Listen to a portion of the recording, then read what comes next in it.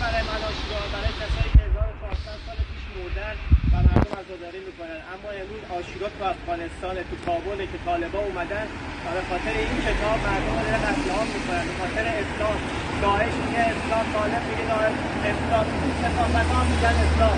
و از طالبا حمایت می‌کنن و مردم منو به قتل عام کشیدن. من این کتاب جلوی اینجا پاره پاره می‌کنم. میریزم توی دست پای اینا تا بتونن ما هیچ چیزی به نسبت به این قرآن نداریم. این قرآن آیات شیطانیه. باید پاره بشه بریزیم اینجا و خود اینا از اینجا رد این کتاب دستنویس عربان نه ما اینا همه جا خطاب به کردن با این قرآناشون جمهوری اسلامی جمهوری شیطانیه.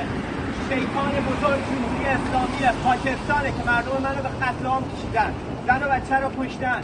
برای زینب و حسین و علی عزاداری می‌کنن که 1400 سال پیش مرده. ولی برای مردم من هیچ عزاداری نمی‌کنن چون خودشون اونا ریشاشون رو نگاه کنید همشون مثل همین آخونده کسافت هست این قرآن ها باید ریخته بشه اینجا و زیر پاشون باشن که از روشون رد بشن. یا بفهمن اینا هیچی نیست جز ریش عرب های کسافت همینا هستن که دنیا رو به کسافت کشیدن. همه جای دنیا به خاطر اسلام جنگه. خاک تو سرتون کنم مرگ مرگ جمهوری اسلامی.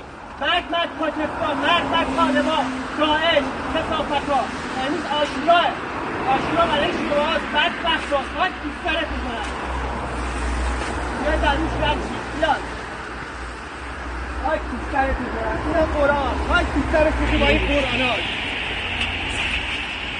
مردم کسافت تروریست اینا اینا تروریستن آخونده کسافت تروریستن آخونده خودشون تروریستن که به مردم خودشون رنده می‌کنن حالا دست گذاشتن رو مردم افغانستان سوریه همه رو آواره کردن این کسافت ها خاک تو سرتون کنم آخونده عوضی.